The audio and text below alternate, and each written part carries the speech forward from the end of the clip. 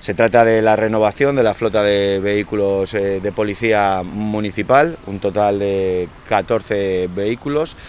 13 vehículos como los que veis justo detrás nuestra y una furgoneta de atestados que también eh, hemos renovado. Se trata y es una filosofía de poner todo lo que podamos a disposición de la seguridad de este municipio y de esta manera también eh, poner en valor que para nosotros es una de las principales políticas que se han de llevar y en la cual debemos de seguir perseverando. Sin seguridad no puede desarrollarse en plenitud uno de nuestros principales principios rectores de nuestra democracia, que es el principio de libertad.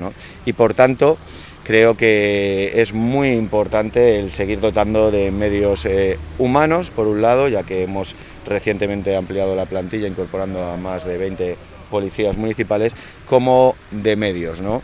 Y en total, como hemos dicho, es una inversión de casi 200.000 euros, de 190.000 euros al año, ya que es en un formato de renting, y lo que se ha mejorado son, por un lado, las capacidades de los vehículos, ya que estos vehículos pues, eh, tienen más de 100, desarrollan hasta 150 caballos y, por supuesto, todos los elementos de seguridad para eh, minimizar al máximo el riesgo que, por desgracia, deben sufrir eh, los profesionales de la Policía Municipal para garantizar nuestra seguridad. Por otro lado, también, y también poner en valor el lado humano del Cuerpo de Policía Municipal, todos ellos, todos estos vehículos van dotados con desfibriladores y por tanto también significa que los policías pues están formados para intentar también eh, salvar vidas, valga obviamente la, la, la obviedad. ¿no?